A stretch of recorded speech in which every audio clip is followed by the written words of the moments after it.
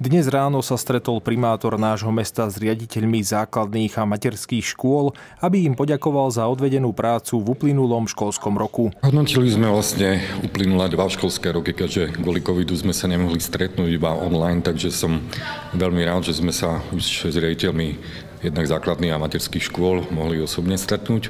No máme za sebou tri ťažké roky, ale Musím povedať, že je veľmi úspešné. Tým, že doznevala to vlastne druhá, tretia, už ani neviem, ktorá vlna tej pandémie plus e, nešťastný konflikt na Ukrajine, kde sme pripravovali priestory pre utečencov, stále sme nedel, koľky prídu, blokovali sme vlastne telocvične, boli sme pripravení, mali sme služby. Okrem toho, čo bolo spomínané, že sme vytvárali aj nejaký prvý záchytný štít pre ukrajinských utečencov, tak sme boli veľmi úspešní v predkladaní a schváľovaní projektov financovaných z eurofondov.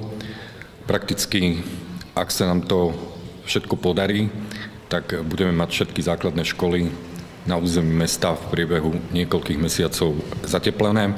To znamená, momentálne realizujeme zateplovanie základnej školy Komenského, základnej školy Wimbark a čakáme na podpis ešte zmluvy na základnú školu Bartolomea Krpelca. Okrem toho rozširujeme kapacity materskej školy na Bardejovskej Novej Vsi.